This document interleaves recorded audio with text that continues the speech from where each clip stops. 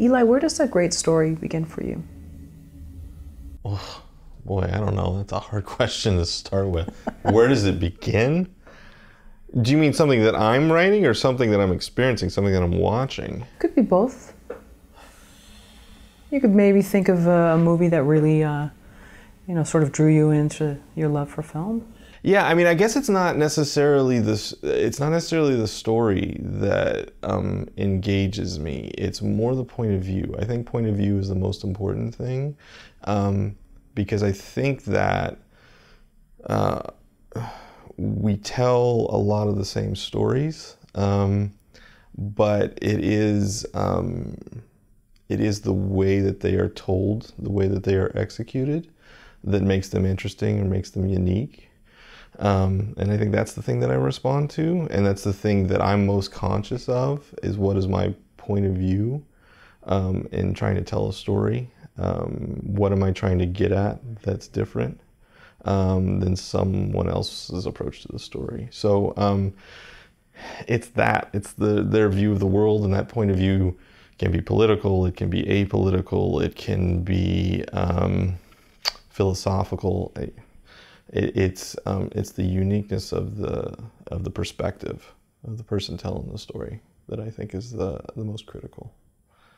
Yeah, like if you think about uh, reality TV and the dating shows, and then you take something like Sherman's March. Mm-hmm. I know that's going back a few years, but no, it's a great film. It's excellent, and just seeing the guys, I was it Ross? Yeah, McElwee? Ross McElwee. Okay, uh, his his like hesitance and his falling in love and mm-hmm. then falling in love with someone new and then being in this small town mm-hmm. and all mm-hmm. the expectations with mm-hmm. that.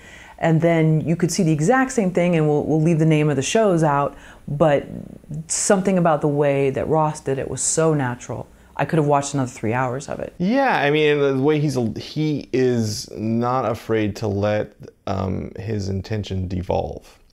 Um, and I mean, I, even if we don't even have to talk about um, a different subject matter, you could certainly, I'm sure there have been multiple films or television shows that have been made about Sherman's March that are just a kind of um, straight, what we might call expository um, retelling of the history, right?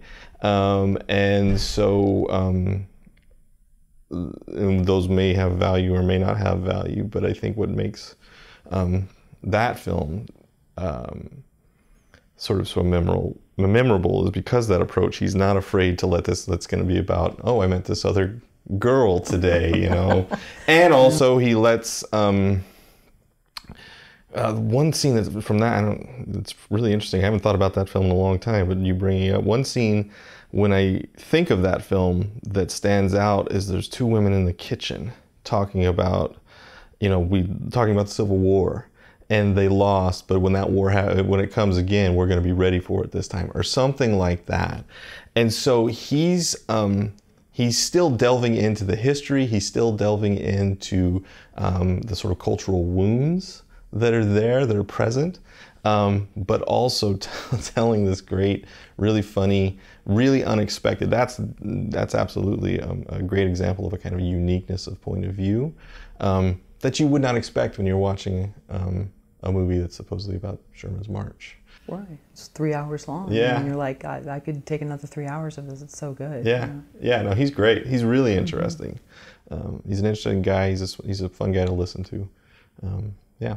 And sorry, what expository? Can you just explain? So expository is like um, Bill Nichols is this. Um, he's actually a, a, former professor of mine. He was up at San Francisco State, and um, uh, he was at one time considered one of the foremost authorities, maybe he still is, I don't know, on documentary film. And so he broke down um, what he called the modes of documentary film. Um, and the different, there are different approaches to um, trying to find the, their notion of truth.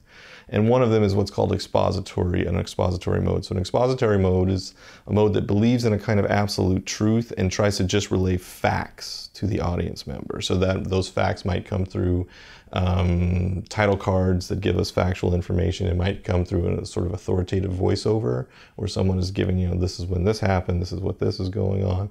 But it is a, uh, it's a treatment of uh, the documentary world and this notion of truth as um, absolute. And the film's job is to deliver those truths to you, those facts to you um, via different techniques or talking head interviews. For instance, you get an expert to come in and say, "This is what happened. This is why it happened," all that sort of stuff. And um, so you could absolutely see a, a, a, film, a documentary about Sherman's uh, Sherman's March that takes that kind of tact, where here's a historian. Historian's going to talk about it, and we'll give you some voiceover, and we'll give you some title cards that'll give you the facts of when this happened and when that happened. Um, whereas um, uh, it's much more subjective. Uh, it might even be called what we what Nichols calls performative, um, where it's all about the personal, it's all about the subjective.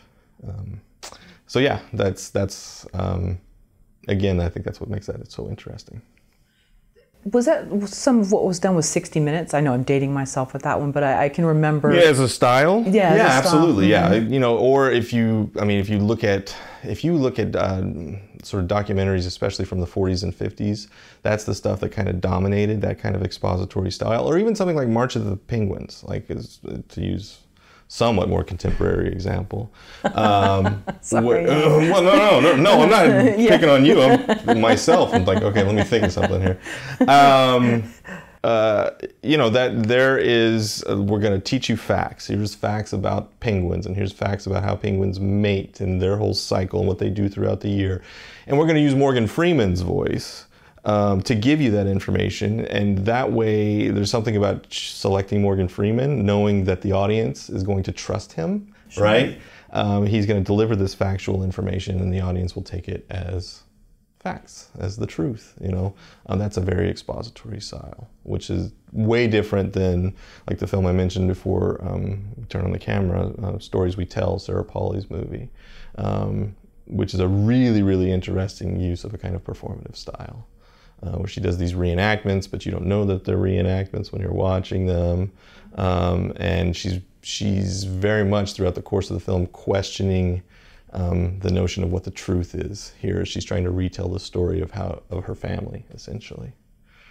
And there's also a, an extreme danger with that because you could think back to like propaganda films yeah. Uh, of the 40s and 30s and things like that. Yeah, I, well, I mean, like uh, you get into um, you do you get into question notions of what is the truth, but um, this here you get into ethical sort of dilemma of um, what your role is as a documentary filmmaker and what um, what you owe I guess, what you're supposed to try to achieve. Some would say in this kind of 60 minute style that uh, we're trying to, to delve into this kind of the absolute truth and trying to figure that out. Whereas others um, might say that there's no way to do that. It's impossible. There's no way to sort of remove yourself. Um, one of the ways I, if I'm lecturing on documentary film, one of the things that I will talk about is um, how it's impossible to remove bias. Um, there's no such thing as sort of um, uh, an unmediated film, meaning you or a documentary film. Um, you can't um, remove your own perspective, no matter how hard you try. Uh, the example I, will give is, you know, if I if I decide that I'm going to make a film about Long Beach City College students, right? Um, that's what I've decided I'm going to do. And there's like 30,000 students that attend this school. There's no way I can talk to all 30,000 students. So I'm just going to talk to this class of 80 kids, of 80 students.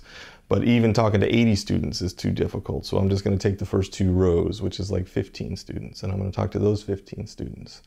And when I'm doing those those interviews, I discover that this student over here is not interesting on camera at all they're boring. So I can't use them. I've got to cut them out. But this student over here is really interesting. So she's going to be all over my movie because I think she's saying all kinds of interesting things and it aligns with what I think is, is um, possibly the um, uh, proper perspective about being a Long Beach City College student. So then I pose this question to them Where's the first time I showed my bias? By choosing the one interesting student? Long before that. I showed my bias when I decided to make a movie about Long Beach City College students. Because as soon as I just made that choice, as soon as I said that I'm going to make a film about Long Beach City College students, I decided not to make a film about Donald Trump, the automobile, cats, whatever. Like, there's a perspective right there. I'm saying that this is interesting, this is newsworthy, this should be a film. I have just indicated a bias right there. Um, and so there's no way to separate your point of view or your perspective or your way of seeing the world once because you're making choices. Immediately when i just decide to pick up the camera and shoot something i've made a choice. Um, so I, I, I always think that those films a film like stories we tell a film like sherman's march um, uh, the stuff that werner herzog does in like grizzly man um, those films tend to be for me or, or errol morris's uh, documentary work tend to be the most interesting because they're the ones that are acknowledging um, that this truth is out here and it's elusive and I don't know if it actually exists and we can grab it or not. All I can do is present my point of view and this is all very slippery. Was, I don't know. That feels that feels more honest to me than here's the truth. We're gonna give you the truth of the expository style. Um, I mean, there's all kinds of people who do stuff with with observational documentary. Like someone like Frederick Wiseman is just masterful, or the Maysles brothers before they died. We're great at that stuff.